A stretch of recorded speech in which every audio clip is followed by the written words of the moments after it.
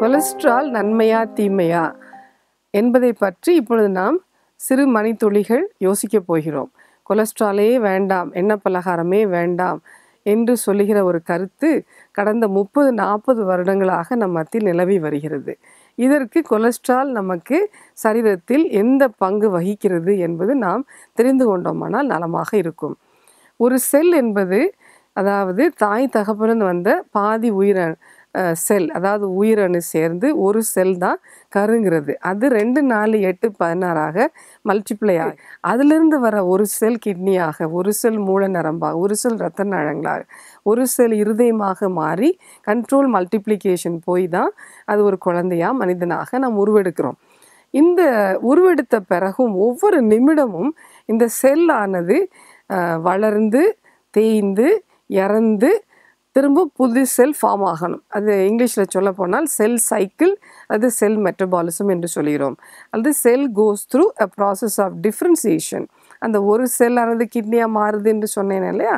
அதுக்கு பேர் தான் டிஃப்ரென்சியேஷன் அந்த அந்த செல்லானது டிஃப்ரென்சியேஷன் போய் கண்ட்ரோல் மல்டிப்ளிகேஷன் போய் டீஜென்ரேட் ஆகி ப்ரோக்ராம் செல் டெத் அப்பாப்டோஸ் அப்படின்னா ஆண்டவனுடைய சிருஷ்டிப்பில் அந்த செல்லானது கட்டாயமாக இறந்துடும் புது செல் முளைக்கணும். இதுதான் செல் சைக்கிள் மெட்டபாலிசம் இந்த செல் அந்த மாதிரி இறந்து போகாமல் வளர்ந்துக்கிட்டே போச்சுன்னா அல்லது no differentiation followed by uncontrol multiplication தான் கட்டி கேன்சர் அதனால் ஆண்டவனுடைய அமைப்பு இந்த செல் சைக்கிள் மெட்டபாலிசம் வளர்ந்து தேய்ந்து இறந்து புதியது முளைக்க வேண்டும் என்பது ரெண்டு மூணு நாளைக்கு முன் உள்ளாக எல்லா செல்லும் நடக்குது. அப்படியானால் ஒவ்வொரு நிமிஷமும் கோடிக்கணக்கான செல்ஸ் நம்முடைய சரீரத்தில் இறந்து புதுசு முளைப்பிக்கப்பட வேண்டும்.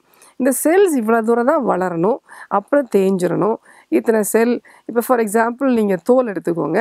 கீழே பேசல் செல் இருக்குது அதுக்கப்புறம் கொலம்னாரம் மாறும். அப்புறம் ஸ்குவேமஸாக வரும். Stratification four to five layers வரும். அப்புறம் பிக்னாட்டிக் லீக்கியஸ் அது ஷெட் ஆயிரும்.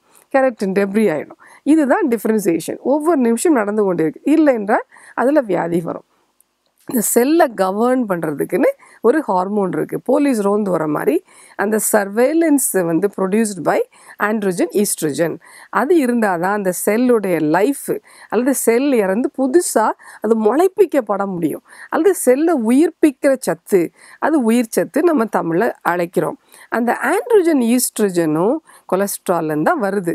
அந்த ஆண்ட்ரோஜன் ஈஸ்ட்ரோஜன் கொலஸ்ட்ரால்லேருந்து வர்றதுனால அந்த ஆண்ட்ரோஜன் ஈஸ்ட்ரோஜனுக்கு என்ன பேர்? கொலஸ்ட்ரால் தான் எடுக்கிறோம். கொலஸ்டிரால் ஸ்டீராய்டு ஹார்மோன் அப்படின்னா கொலஸ்ட்ரால் தான் ஒரு செல்லை உயிர்ப்பிக்கிற சத்து அல்லது உயிர் சத்து. அது அப்படி இல்லைன்னா அந்த செல் கட்டியாக போயிடும் இல்லை இறந்துரும் புதுசாக முளைக்கப்படாது. அப்போ தேய்மான வியாதி நமக்கு வரும். அந்த புதிய செல் மெம்பரெயின் ஃபார்ம் ஆகிறது வந்தால் தான் அந்த செல்லுன்றது வரும். அந்த செல் மெம்பரெயின்குள்ளே தான் அந்த தண்ணி மாதிரி காம்பவுண்ட் இருந்தால் அது ஒரு செல் ஃபார்ம் ஆகுது. Cell membrane the remarkable cell membrane which does thousand and one functions அது எல்லாமே கொலஸ்ட்ரால் தான் வருது. சிம்பிளாக சொல்ல போனால் கொலஸ்ட்ரால் தான் நம்முடைய செல்லு கொலஸ்ட்ரால் தான் நம்முடைய செல்லை உயிர்ப்பித்து கட்டி கேன்சர் போக விடாமல் பாதுகாத்து செல்லு இறந்து போகிற செல்லை பிழைப்பூட்டுற சத்தும் உயிர் சத்தும் கொலஸ்ட்ரால் தான். செல்லும் கொலஸ்ட்ரால் தான். செல்லோடைய காப்பாற்றுற உயிர் சத்தும் கொலஸ்ட்ரால் தான். அப்போ ஒரு வார்த்தையில் சொல்ல போனால் கொலஸ்ட்ரால் நம்ம ஜீவநாடி அல்லது நம்முடைய செல்லுடைய உயிர் வந்து கொலஸ்ட்ரால் தான் வருது. அப்போ நம்ம கொலஸ்ட்ரால் வேணுமா வேண்டாமா? கொலஸ்ட்ரால் வேண்டும்ன்ற அர்த்தம் நீங்கள் புரிஞ்சுக்குவீங்க. அடுத்த கேள்வி கொலஸ்ட்ரால் அப்போ நம்ம எதுலேருந்து வருது அப்படின்னு உங்களுக்கு தெரியணும். கொலஸ்ட்ரால் வந்து நமக்கு அதாவது எசென்ஷியல் ஃபேட்டி ஆசிட்னு சொல்லுவோம். இன்றியமையாத எண்ணெய் கொழுப்பு. அந்த கொழுப்பு வந்து நமக்கு இருபத்தஞ்சி டீஸ்பூன் ஒரு ஆளுக்கு ஒரு நாளைக்கு தேவைப்படுது. அந்த இன்றியமையாத கொழுப்பு நம்ம சாப்பிட்றப்ப தான் அதுலேருந்து பாடி என்ன பண்ணும்? கொலஸ்ட்ராலை தயார் பண்ணி அதை வந்து எல்டிஎல்லாக டிரான்ஸ்போர்ட் பண்ணுது. ஒரு சேரியட்டில் தூக்கி சுமந்துட்டு போகுது. அது அப்போ புது செல் மெம்ப்ரெயின் ஃபார்ம் ஆகிறப்போ அந்த கொலஸ்ட்ரால் எஸ்ட்ரெஸ்ஸை டொனேட் பண்ணும். டொனேட் பண்ணிவிட்டு புது செல் மெம்ப்ரெயின் ஃபார்ம் ஆன உடனே எல்டிஎல் ஹெச்டிஎல்லாம் மாறிக்கிறோம். அந்த செல் மெம்பரெயின் இறந்து போகிற செல்லில் இருக்க மெம்பரெயின் வந்து ஹெச்டிஎல்ல அட்டாச் ஆகி எல்டிஎல்லாக மாறிக்கிறோம். அப்படின்றப்போ எல்டிஎல் புது செல் மெம்பரேன் உண்டாகிறதுக்கு கொலஸ்ட்ரால் டொனேட் பண்ணும். அல்லது ஸ்டீராய்டு ஹார்மோன் உயிர் சத்து மற்ற கேட்டகாலமின்ஸ் பறக்கிற சண்டை போடுற ஓடுற ஹார்மோனும் கேட்டகாலமின்ஸும் ஸ்டீராய்டு ஹார்மோனுமா அந்த ஸ்டீராய்டு ஹார்மோன் சிந்தசிஸ்க்கு கொலஸ்ட்ரால் டொனேட் பண்ணிவிட்டு ஹெச்டியில் மாறிக்கிறோம். பைலாசிட் சிந்தசிஸ்க்கும் கொலஸ்ட்ரால் எஸ்டசிட் டொனேட் பண்ணிவிட்டு பித்தம் டொனேட் பண்ணிவிட்டு ஹெச்டியில் மாறிக்கிறோம். இது நிமிஷ நிமிஷத்துக்கு நம்ம பாடியில் நடந்துக்கிட்டே இருக்குது. இந்த கொலஸ்ட்ரால் மூளை நரம்பில் ஆண்டவன் எதில் பண்ணியிருக்கிறான்னு சொல்லி கே பேர் புரிஞ்சுக்கிட்டிங்கன்னா பார்த்துருப்பீங்க. மூளை வந்து கொல கொலன்னு இருக்கும். வெள்ளையாக மினுங்கிட்டு இருக்கும். அது ஃபுல்லாக தேவனுடைய அமைப்பு வந்து கொழுப்பில் தான் பண்ணியிருக்கிறாரு இங்கிலீஷில் ஃபாஸ்ஃபோலைபிட்ஸ் ஃபிங்கோலைபிட்ஸ்னு சொல்கிறோம் இப்போ தோ தசை இருக்குது. க- இருதய தசையோ அல்லது கை ஆட்டுற அந்த தசை ஸ்கெல்டல் மசில் கார்டியாக் மசில்லாம் ப்ரோட்டீனில் பண்ணியிருக்கிறாரு அது ஃபுல்லாக ரெட் கலர் சிவப்பு கலர் ப்ரௌன் கலரில் இருக்குது. இப்போ இருதயமோ அல்லது த கை மசிலோ ஒரு நிமிஷத்துக்குள்ளே நம்ம ஒரு அறுபது தொண்ணூறு தடவை வேணால் அது இப்போ ஆடும் வேலை பார்க்கும். ஆனால் மூளையோட ஸ்பீடு என்னன்னு சொன்னீங்கன்னா மின்னல் வேகம் எலக்ட்ரிசிட்டி ஸ்பீடில் அது கண்டக்ட் பண்ணுது. ஒரு கன அங்குல மூளையில் நீங்கள் பார்த்தீங்கன்னா இரநூறு பில்லியன் செல்ஸ் இருக்குது முந்நூறு ட்ரில்லியன் கனெக்ஷன்ஸ் இருக்குது அதான் ஆண்டவனுடைய அற்புதமான படைப்பு. உங்களே என்னையும் படைச்சிருக்கிறாரு. அப்படி அந்த மண்ணோட மண்ணாக போன அநேகத்தை உயிர் மக்களுடைய கருக்கலைக்கப்பட்ட தங்கங்களும் அந்த மாதிரி தான் அற்புதமாக படைக்கப்பட்ட மனிதர்கள். அந்த எல்லா மூளையும் நிமிஷ நிமிஷத்துக்கு கொட் மூணு நாளைக்கு ஒரு தடவை என்ன செய்யணும்? வளர்ந்து தேஞ்சு இறந்து புதுப்பிக்கப்படணும். அப்போ எவ்வளவு கொலஸ்ட்ரால் நமக்கு தேவைப்படுது டயட்டில் இல்லையா? அதுதான் மூல நரம்பு. அதே மாதிரி நீங்கள் பார்த்தீங்கன்னா உள்ளே போகிற ரத்த நாளங்கள் எல்லாத்தையும் ஆண்டவன் பேடிங் ஆஃப் ஃபேட்டுக்குள்ளே தான் கொடுத்துருக்குறாரு. கிட்னியை வந்து அப்போ தான் இப்படி குத்துனீங்கன்னா கூட அந்த ரத்த நாளங்கள் செதையாது. ஏன்னா அந்த அடிப்போஸ் டிஷ்யூ என்ன செய்யும் ஒரு மாதிரி அதை ரெசிஸ்ட் பண்ணாமல் ஒரு மாதிரி ச அதை பாதுகாத்துக்கிறோம். இப்போ வ வயிறு ஃபுல்லாக அப்டமின் இருக்குது இதில் வந்து எலும்பு கூட கிடையாது. ஒரு குத்துறீங்க அது உள்ளே இருக்கிற அந்த இன்ட்ரெஸ்டைன் மறந்துக்கிட்டு இருக்க ரத்த நாளங்கள் டேர் ஆயிரும் டேமேஜும் ஆயிரோடாம் பாதுகாக்கிறதுக்கு. அண்ட் ஃபுல் ஃபுல்லாக மெசன்ட்ரிக் பேட் ஆஃப் ஃபேட்டுக்குள்ளே கொடுத்துருக்காரு. அது மாத்திரமல்ல நீங்கள் கிட்டத்தட்ட ம- அஞ்சு கிலோமீட்டருக்கு மேலே அப்சார்ப்டிவ் கெப்பாசிட்டி ஆஃப் இன்ட்ரெஸ்டைன் சொல்லுவோம். அதாவது விரிச்சு போட்டு அந்த அப்சா உறிஞ்சுற தன்மை நீங்கள் விரிச்சு போனால் அஞ்சுலேருந்து இருபது கிலோமீட்டர் சர்ஃபேஸ் ஏரியா அப்சார்ப்டிவ் கெப்பாசிட்டியை அண்ட் ஒரு ஜான் அப்டமின்குள்ளே சுருக்கி வச்சுருக்கார். மடிப்பு ஃபோல்டிங் மெக்கானிசம் த வில்லையா ஃபோல்டட் ஃபோலியார் ஃபோல்டட் இன்டெஸ்டனா ஃபோல்டட் அப்போ அந்த சுருங்க அப்படி மடிக்கு கொடுக்குறப்போ அது முடிச்சு விழுந்துருச்சுன்னா இன்டெஸ்டனல் அப்ஸ்ட்ரக்ஷன் போயிடும் ஆனால் அப்படி இல்லாமல் இப்போ அதை சஸ்பெண்ட் பண்ணி வச்சுருக்காரு மிசன்ட்ரி ஒமெண்டம் அது ஃபுல்லாக ஃபேட் தான். அந்த fatty adipose tissue is wonderful tissue அது நமக்கு டெம்பரேச்சர் மெயின்டைன் பண்ணுது நிறையா ஹார்மோன்ஸ் ப்ரொடியூஸ் பண்ணுது. It has its an endocrine cell basically அதுவும் ஒரு ஹார்மோன் செக்ரேட் பண்ணி நம்மளை பாதுகாக்குது. அண்ட் அந்த அந்த முடிச்சு விழாமல் இன்டெஸ்டின் குடல் முடிச்சு விழுந்து அப்ஸ்ட்ரக்ஷன் போகாமல் வால்வ்லெஸ் போகாமல் இருக்கிறதும் அந்த கொழுப்பு தான். அது நமக்கு தேவைப்படுது. இன்றைய மத அதே மாதிரி ஆண்டவன் முதுகில் கிட்னியை ஒட்டி வச்சிருக்கிறாரு. நம்ம நாலு கால் நடக்கல ரெண்டு கால் நடக்கிறோம். அதை முதுகில் பேஸ்ட் பண்ணி வச்சிருக்கிறது பெரினெஃப்ரிக் ஃபேட் அப்போ நம்ம கொழுப்பே இல்லாத இன்றியமே அதை கொழுப்பு இல்லாத சாப்பாடு சாப்பிட்றோன்னா அந்த ஃபேட் மெல்ட்டாக என்ன செஞ்சிடும் கிட்னி டோஸ் ஆகிடும் டோஸ் ஆயிடுச்சுன்னா ரிப்பீட்டட் இன்ஃபெக்ஷன் வரும். இந்த மாதிரி அநேக சொல்லிக்கிட்டே போகலாம் இந்த எல்லா செல்ஸுமே கொலஸ்ட்ரால் தான். செல்லை உயிர்ப்பிக்கிற உயிர் சத்து கொலஸ்ட்ரால் தான். அதனால் கொலஸ்ட்ரால் நம்ம ஜீவனாடின்னு ஒரு நட்சல்ல சொல்லி கொடுத்தேன். நம்முடைய உயிர் வந்து செல்ஸுடைய உயிர். அப்போ மனுஷனுடைய உயிர் கொலஸ்ட்ரால் தான் வருது. அவ்வளோ இம்பார்ட்டன்ட் அப்போ நான் உங்களுக்கு சொன்னேன்ல அஞ்சு வகையான எசென்ஷியல் ஃபேட்டி ஆசிட்ஸ் இருக்குது அது என்னன்னு நம்ம பார்ப்போம். அது கொலஸ்ட்ரால் எல்டிஎல் எல்டிஎல் ஹெச்டிஎல் நம்ம இப்போ என்ன புரிஞ்சுக்கிட்டீங்க? அதுவும் அந்த இன்றியமையாத கொழுப்பை டிரான்ஸ்போர்ட் பண்ணுற புரோட்டீன் அது நிறையா இருக்கணும். இந்த ஹெச்டிஎல் வந்து அறுபது கீழே குறைஞ்சிருச்சு அப்படின்னு சொன்னால் நாற்பத்தஞ்சு கீழே மூணு மடங்கு தேய்மான வியாதிகள் மாரடைப்பு கூடும். சுகர் ப்ரெஷர் வியாதி கூடும். நாற்பத்தஞ்சு கீழே குறைஞ்சிருச்சு ஹெச்டிஎல்னால் ஆறு மடங்கு மாரடைப்பு பக்கவாதம் ஹார்ட் அட்டாக் ஸ்ட்ரோக்கு கூடும். தேய்மான வியாதிகளாகிய சக்கரை வியாதி ப்ரெஷர் வியாதி கட்டி கட்டிகள் ஏன்னா அந்த ஹெச்டிஎல் எல்டிஎல் குறையிறப்போ கொலஸ்ட்ரால் உயிர் சத்தும் இருக்காது. அப்போ செல் என்ன செய்யும்? அந்த கண்ட்ரோல் இல்லாமல் கட்டி கேன்சராக போயிடும் அதனால் ஃபைப்ராய்டு யூட்ரஸ் மார்பு கட்டி ஃபைப்ரோ அடினோமா பிரெஸ்ட்டு ஒரு குறைஞ்ச சதவீதம் கேன்சர் கூட வந்துடுது இது எல்லாத்துக்கும் காரணம் உயிர் சத்து இல்லை. உயிர் சத்து இருந்தால் தான் அந்த செல்ஸ் கரெக்டாக பிஹேவ் பண்ணி டிஷ்யூவாக வர முடியும். தேஞ்சிட்டு போ இறந்துரும் முளைக்காது. அப்போ தேய்மான வியாதியாக sugar ப்ரெஷர்லாம் sixty percent six fold increase ஆயிடுது அப்படின்றப்போ நம்ம முக்கியமாக புரிஞ்சுக்கொள்ளணும் அந்த கொலஸ்ட்ரால் பாடி இதுலேருந்து தயார் பண்ணுது? இன்றைய மத கொழுப்புன்னு சொன்னேன் ஒரு வார்த்தையில். இப்போ ஃபார் எக்ஸாம்பிள் விதையிலேருந்து செடி முளைக்குது. இது பெரிய உண்மை இல்லை. இதை நம்ம படிச்சிருக்க வேணாம் தெரிஞ்சுக்கிறதுக்கு எல்லாருக்கும் தெரிஞ்ச காரியம்தான் விதையிலேருந்து முளைக்கிற சத்து உயிர் சத்து தான் இருந்தால் தான் அந்த செடி முளைக்க முடியும். அந்த உயிர் சத்து கொழுப்பு தான் எண்ணெய்க்கு வருது. ஏன்னா எல்லா தேங்காய் எண்ணெய் நல்லெண்ணெய் கடலெண்ணெய் பாமாயில் எல்லாமே ஒரு விதை கொட்டை பயிர்லேருந்து தான் வருது. அந்த விதையிலேருந்து முளைக்கிற சத்து உயிர் சத்து கொழுப்பு தான் அப்படியே எண்ணெய்க்கு ட்ரான்ஸ்ஃபர் ஆகுது. அப்போ எண்ணெய்க்கு என்ன பேர் சொல்லணும்? Life associated fatty acid it life factors are growth factors அந்த உயிர் சத்து கொழுப்பு எண்ணெய் கொழுப்பு நமக்கு வேணுமா வேண்டாமா? வேணுன்றதை நீங்கள் புரிஞ்சுக்குவீங்க. அதில் நாலு வகை எண்ணெயும் எடுத்துக்கோங்க. ஆலிவ் ஆயில் தான் ஹையஸ்ட் ஃபர்டிலிட்டி இண்டெக்ஸ் ஒரு எண்ணெயை ரேட் பண்ணுறதும் செழிப்பு அல்லது ஃபர்டிலிட்டி இந்த செல்ஸோட செழிப்பு robust health of the cells olive oil நம்ம நாட்டில் தேங்காய் எண்ணெய் நல்லெண்ணெய் கடலெண்ணெய் பனை எண்ணெய் palm oil Malaysian palm oil கிடைக்குது.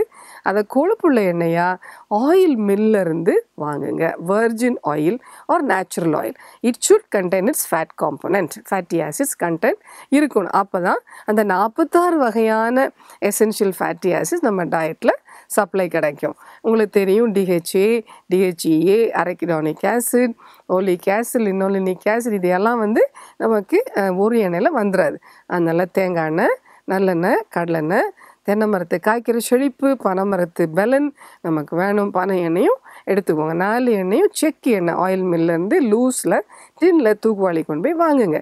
எண்ணெய் ரிஃபைண்ட் ஆயிலில் நம்ம என்ன பண்ணுறோம் அந்த கொழுப்பை எடுத்துகிறோம் கொழுப்பை எடுத்துட்டோம்னா உயிர் சத்து எல்லாம் வெளியே போயிடுது அப்போ oil we are making the oil to die or deprived of its life factors அப்போ எண்ணெய் இறந்து போக வச்சு சாப்பிட்டோம்னா நம்மளோட உயிர் சத்து உற்பத்தி இருக்காது செல்ஸ் உற்பத்தி இருக்காது. அப்போ தேய்மான வியாதியும் கட்டி கேன்சரும் ஆட்டோமேட்டிக்காக கூடிரும்ன்றதை நீங்கள் புரிஞ்சுக்குவீங்க நம்புகிறேன் ஓகே அப்படின்றப்போ ரிஃபைண்ட் ஆயிலோ சூ சூரியகாந்தி விதை பாக்கெட் எண்ணெயோ வேண்டாம். அது கொழுப்பு நீக்கப்பட்ட எண்ணெய் வேண்டாம். கொழுப்புள்ள எண்ணெய் தான் வர்ஜின் ஆயில் தான் நம்முடைய ஜீவநாடி ஏன்னா அது முளைக்கிற விதையிலேருந்து வர உயிர் சத்து கொழுப்பு எண்ணெயிலேருந்து நம்முடைய உயிர் சத்தாக நம்முடைய செல்ஸாக நம்முடைய ஜீவநாடியாக மாறுது. அப்போ எண்ணெய்க்கு ஒரு பேர் சொல்லணும்னா அது உயிர் சத்து கொழுப்பு. அது நமக்கு நம்முடைய ஜீவன் அந்த எண்ணெய் கொழுப்புல தான் வருது. அதை புரிஞ்சுக்கலாமா? ரெண்டாவது என்ன சொல்ல விரும்புகிறோம்னா அந்த சூரியகாந்தி விதை வந்து பட்சி பறவைக்குன்னு ஆண்டவ அமைச்ச அமைப்பு அது ஓப்பன் சீட் அது பட்சி பறவை ஒரு சிக்கன் சாப்பிட்டு அது உ- அது உயிரோடு இருக்கணும் அதோடைய செல்ஸ் ஜீவிக்கணும். அதற்காக படைச்சது ஏன்னா அதில் ஆறு மடங்கு ஹெச்டிஎல் எல்டிஎல் கண்டென்ட் அந்த கொல லைப்போ ப்ரோட்டீன்ஸ் குறவாக இருக்குது நிலக்கடலை விதையோட ஆனால் சின்ன விதை. அதில் இருக்கிற உயிர் சத்துக்குள்ளே போய் நம்ம எடுத்துட்டோம்னா அப்போ சூரியகாந்தி விதை சாப்பிட்றப்போ எண்ணெய் சாப்பிட்றப்போ கொழுப்பு நீக்கப்பட்ட எண்ணெய் சாப்பிட்றப்போ பேக்கெட் ஆயில் ரிஃபைண்ட் ஆயில் சாப்பிட்றப்போ ஆறு மடங்கு அறுபது சதவீதம் ஹார்ட் அட்டாக்கும் ஸ்ட்ரோக்கும் கூடும். ஒரு ஹார்ட் அட்டாக் வந்த பேஷண்ட்டுக்கு எண்ணெய் எடுத்துக்கிறாதீங்க கொழுப்பில்லாத எண்ணெய் சாப்பிடுங்க ரிஃபைண்ட் ஆயில் சாப்பிடுங்க நம்ம சொல்கிறப்போ என்ன செய்கிறோம் இன்னொரு ஒரு ஆறு மடங்கு அறுபது சதவீதம் அவங்களுக்கு என்ன செய்கிறோம் ஹார்ட் அட்டாக் கூடி தான் வரப்போகுதுன்றதை நம்ம புரிஞ்சுக்கணும். இது எந்த டேட்டாவில் பப்ளிஷ் ஆகுது? Framingham டேட்டான்னு international study way back in nineteen nineties it was published okay அப்போது எண்ணெயை பற்றி நல்ல கொழுப்புள்ள எண்ணெய்னு நம்ம புரிஞ்சுக்கிட்டோம். அப்போ அது உயிர் சத்து கொழுப்பு. ரெண்டாவது விதை பயிர்லேருந்து தான் எண்ணெய் எடுக்கிறோம். அப்போ விதை பயிர் பலகாரங்கள் பண்டங்கள் நம்ம செய்து சாப்பிடணும். அப்படின்னு சொல்லப்போனால் உதாரணத்துக்கு ராகி கம்பு கூழ் அதாவது கம்பு கேப்ப கூழ் எள்ளி தெளிச்சா எப்படி விதை செ- செடி செடி செழிப்பாக முளைக்குதோ அந்த மாதிரி அந்த செழிப்பு நம்முடைய செல்ஸுக்கு தேவைப்படுது. பாரிஜுன்னா நம்ம ஈஸியாக நம்ம குடிச்சிட்டு போயிடலாம். ராகி கம்பு கேப்ப கூழ் கொண்டக்கடலை பட்டாணி சோயாபீன்ஸ் மொச்சை குருமா நிலக்கடலை முந்திரி பருப்பில் செய்த பலகாரங்கள் உளுந்த வடை பருப்பு வடை தேங்காய் சட்னி அஹ், சுசியம் இந்த மாதிரி பயிர்களில் பண்ண பலகாரங்கள் விரும்பி சாப்பிடுங்க. மிளகாட்டின பயிரெலாம் நமக்கு பத்தாது. ஆடு மாடுக்கு வேணால் அதில் ஃபங்கல் அட்டாக்லாம் வரும்.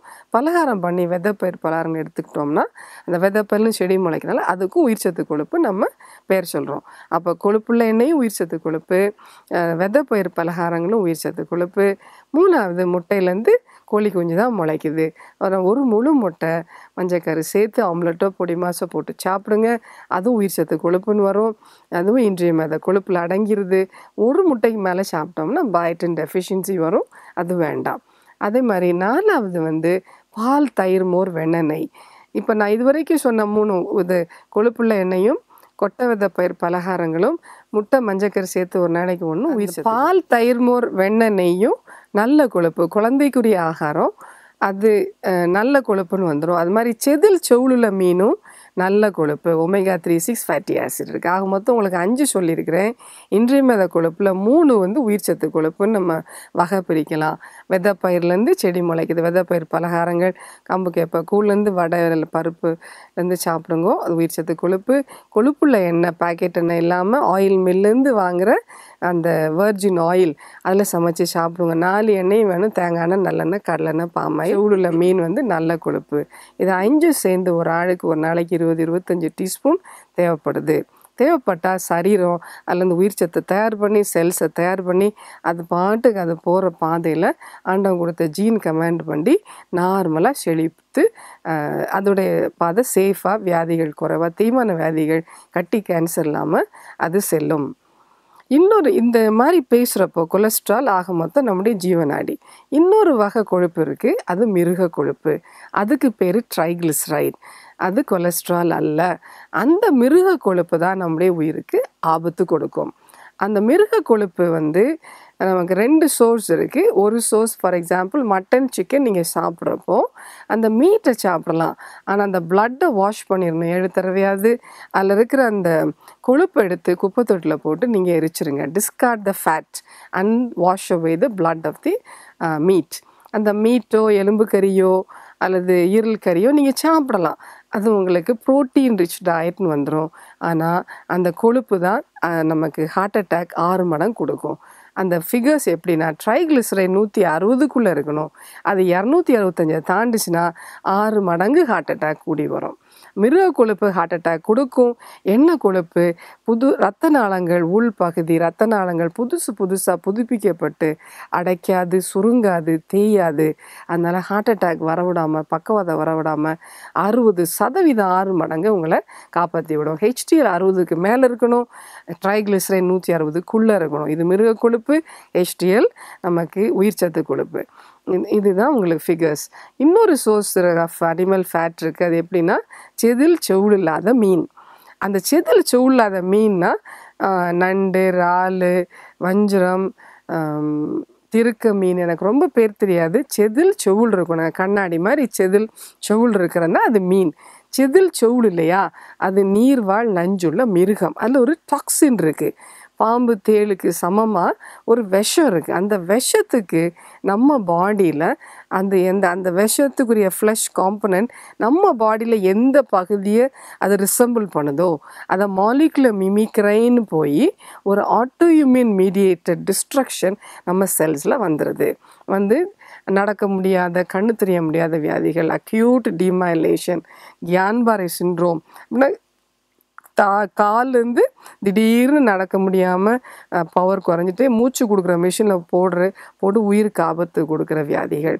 இடுப்பு கீழே விளங்காமல் போயிடும் டிரான்சஸ் மைலைட்டிஸ் பாலிராடிகுலோபதி அப்புறம் செரிப்ரோ வேஸ்குலைட்டிஸ் ரத்த நாளங்களை அழிச்சிரும். அது முக்கியமாக அந்த ஃப்ளஷ் நீங்கள் பார்த்தீங்கன்னா அந்த கிராப்பு அதெல்லாம் நண்டு ஃப்ளஷ்லாம் மூளை மாதிரியே வெள்ளையாக இருக்கும். அதனால் மூளையை டேமேஜ் பண்ணுற நிறைய நஞ்சு அதில் இருக்கிறதுனால சுண்ட டைமில் ஒரு சுவிட்சை போடுற டைமுக்குள்ளே நடக்க முடியாமல் கண்ணு தெரிய முடியாமல் நினைவில்லாமல் நாலு கை கால் விளங்காமல் குவாட்ரிபரிசிஸ் செர்புரோ வேஸ்குலைட்டிஸ் மைக்ரோ ஆஞ்சியோபதிக் சின்ன ரத்த குழாய் ஒரு மில்லிமீட்டருக்குள்ளே மயிரில் ரத்த குழாயும் டேமேஜ் பண்ணிடுது அல்ல பெரிய கண்ணுக்கு தெரிஞ்சக்கூடிய ரெண்டு மூணு மில்லிமீட்டர் ரத்த குழாய்களையும் அப்படியே சாப்பிட்டு டேமேஜ் பண்ணும் ஆட்டோமின் மீடியேஷன் அது ஒன்று செய்யுது ரத்தங்க ரத்தத்தில் இருக்கிற அணுக்கள் வெள்ளை அணுக்கள் சோப்பு அணுக்கள் பிளேட்லெட் அணுக்களை அழிக்கிற வியாதிகள்.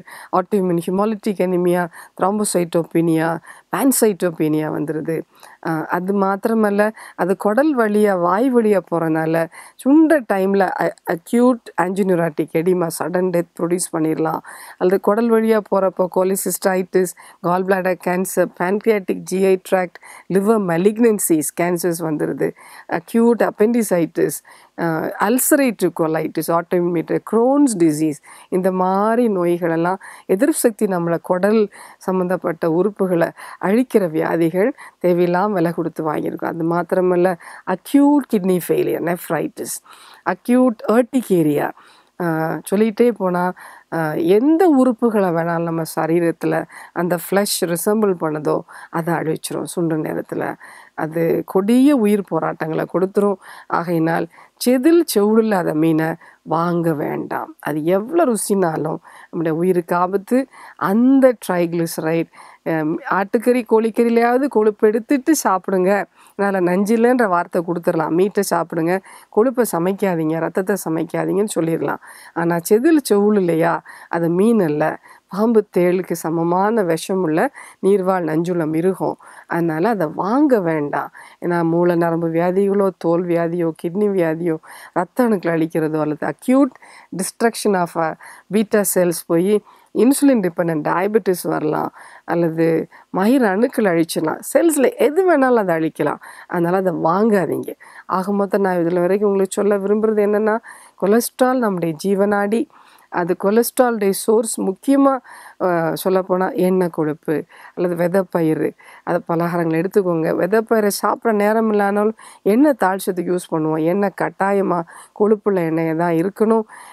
ஆயில் மில்லேருந்து வர வெர்ஜின் ஆயிலாக தான் இருக்கும் natural oil it should not be refine it should contains fatty acid content ஆனால் மிருக கொழுப்பு ரத்த குழாயை அடைக்கும். அது நமக்கு தீமை பண்ணும். அது ட்ரைக்ளிசரைட் அதுக்கு பேர் கொலஸ்ட்ரால் அல்ல. நம்முடைய செல்ஸும் நம்முடைய உயிர் சத்தும் நம்முடைய ஜீவநாடியும் நம்முடைய செல்லோடைய உயிரும் கொலஸ்ட்ரால் தான். கொலஸ்ட்ரால் கட்டாயம் நமக்கு வேணும். மிருக கொழுப்பு வேண்டாம். ஆட்டுக்கறி கோழிக்கறி கொழுப்பு எடுத்துகிட்டு சாப்பிடுங்க ரத்தத்தை கழுவிடுங்க சமைக்காதீங்க. அந்த நண்டுரால் அந்த செதில் செவுளில்லாத நீர்வாழ் உயிரினங்களை வாங்காதீங்க. அது தீமை பயக்கும். உயிருக்கு ஆபத்து கொடுக்கும். என்று சொல்ல விரும்புகிறேன். இது இது சம்மந்தப்பட்டது இன்னும் ரெண்டே ரெண்டு காரியம் மட்டும் உங்களை சொல்ல விரும்புகிறேன். நம்முடைய எதிர்ப்பு சக்தியை நம்மளை அழிக்கிற நோய் நமக்கு இன்னும் ரெண்டு சோர்ஸ் ஈட்டியாலஜியில் நமக்கு வந்துடுது அது எப்படின்னா ஆப்ஸ்டினன்ஸ் அதாவது தீட்டு வர டைமில் தீட்டு ஆரம்பித்த நாள்லேருந்து மூணு நாள் நமக்கு தீட்டு கொட்டினாலும் இன்னொரு மூணு நாள் அந்த கொட்டின உள்தோல் முளைக்கணும் எண்டோமெட்ரியம் அப்போது ஆறு நாள் தாண்டி ஏன்னா ஒரு நாளைக்கு ஒரு மில்லிமீட்டர் தான் பாடியில் ஹீலிங் கெப்பாசிட்டி மேக்ஸிமம் இந்த செல்ஸ் அப்போ ஏழாவது நாளுக்கு அப்புறம் தான் உங்களுக்கு குடும்ப உறவு.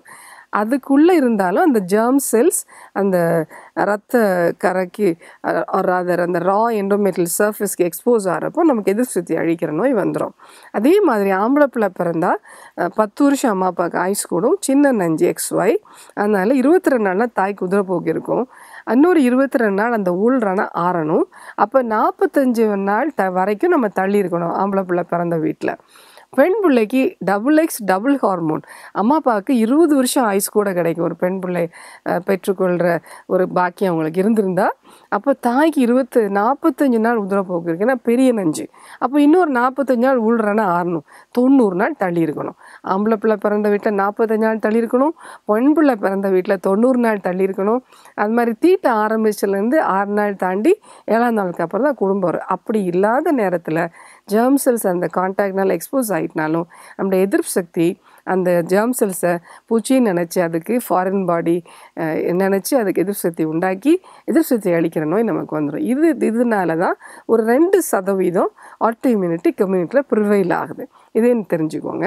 மூணாவது என்னென்னா இன்னைக்கு இரநூத்தி எழுபத்தஞ்சு மடங்கு குடும்ப கட்டுப்பாடு காண்டம் காப்பர்ட்டி குழந்த வேணான்ற ஒரு நியதி நம்ம இருக்குல்ல அதுதான் உயிர்கொல்லி பயங்கரமான ஒரு உயிர்கொல்லி அதுதான். எப்படின்னா அந்த தாய் தப்பண்ட உயிரினு சேர்ந்தால் மனுஷன் பிறந்துருவான் குழந்த முளைச்சிருவான்னு நம்ம தடுக்கிறோம். அதை ஏன் தடுத்தோன்றது தெரியல.